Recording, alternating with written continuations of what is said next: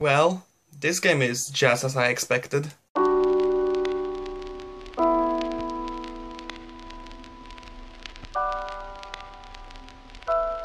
Animal Crossing Happy Home Designer is a spin-off of Animal Crossing for Nintendo 3DS. What is it about? Well, to put it simple, you take the decorating part of New Leaf, remove everything else and make a game out of it. The concept didn't really sound that good to me to begin with. I mean, you just take a part of the game and make a whole game out of it for the same price as the complete game. Hence why my expectations were very low. But let's go forward uh, with the review. Happy Home Designer looks just like New Leaf, most likely using the exact same engine. But that's, that's not too surprising since New Leaf looked really, really nice. And so it does here. Everything from the environments, characters and the HUD look nice and cute, just like an Animal Crossing game should. The Happy Home network is actually looking pretty impressive, well, too bad graphics don't matter much. But the graphics get 9 out of 10. New Leaf introduced brand new, higher quality music to the series, and I really like the whole soundtrack of the game. Happy Home Designer, while still good, is not as great or atmospheric, and there's also not that much music.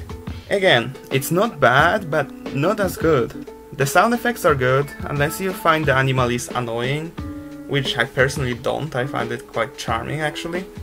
And yeah, there isn't much more to say here. Audio gets 8 out of 10. The most important part of any game is the gameplay, and sadly, this is where Happy Home Designer falls flat, badly. This game is all about decorating houses for the villagers who request it, and you also get to decorate exteriors and some facilities like a school, and that's it. It's repetitive and gets old quickly. And not to mention, it's shallow. Very shallow. There really isn't that much to do. There's no challenge whatsoever. You don't even get graded by any means.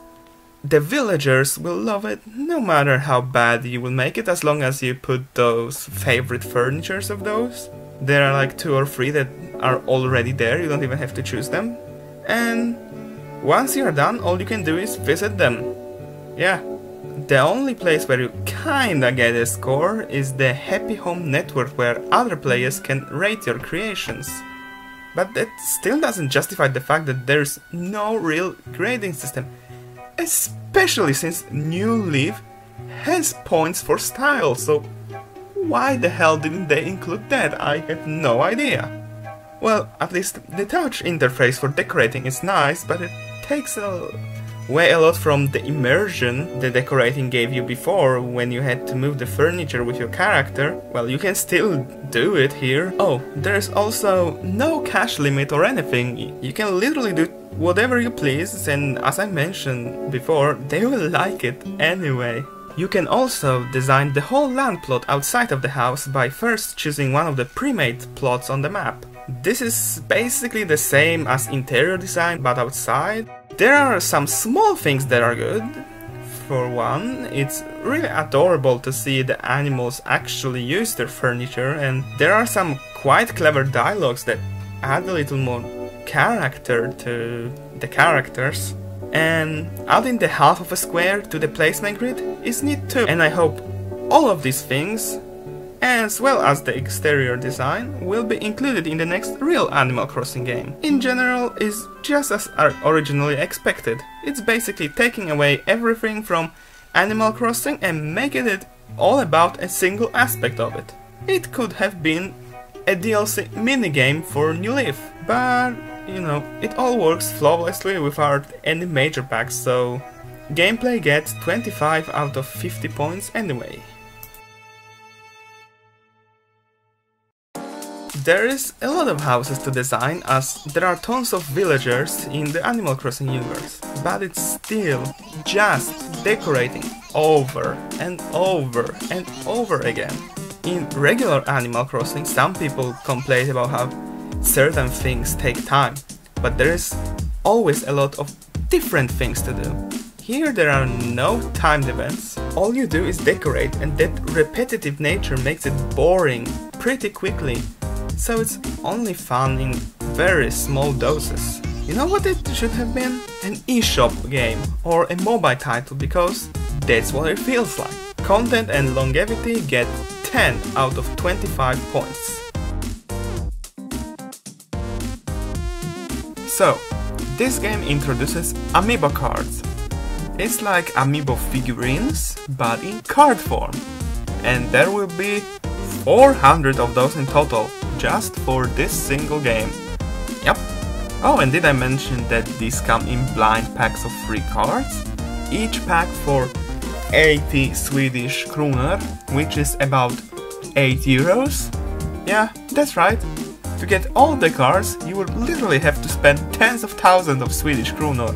I like the idea of amiibo, I collect those I like, but this here is just awful money milking. I'm sorry, but there's no other way to describe it. Luckily though, only special characters actually unlock something you wouldn't be able to do in regular gameplay.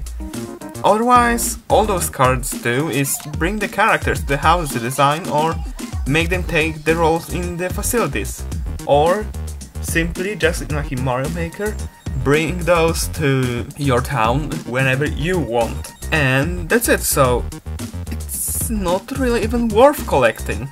This is, in my opinion, the worst thing to come out of the idea behind Amiibo yet. Amiibo get 4 out of 10 points. But is the game fun? Yeah, in small doses, like if it was a mobile game, but in a long way, no, not really, and I'd much rather play Animal Crossing New Leaf instead. I really hope that this kind of games isn't what Nintendo will become, because, you know, I have high standards when it comes to Nintendo, and this is not the high standards of Nintendo. Fun Factor gets 12 out of 25 points. And now, let's sum it all up. Graphics 9 out of 10, audio 8 out of 10, gameplay 25 out of 50, content 10 out of 25, amiibo 4 out of 10, fun factor 12 out of 25, which gives us a total score of 68 out of 130 which in the regular 1 to 10 scale gives us 5.2 out of 10. It really hurts to give a score this low for a game in a series you love from a company that for a long time has stood for quality. But I won't fakely raise the score because of that. The game is okay, but not worth the full price at all. And you know what? I'll just go back to playing New Leaf instead because that game is much better. And you know what? You can probably find the game cheaper and get way more content out of that. So until next time, see ya.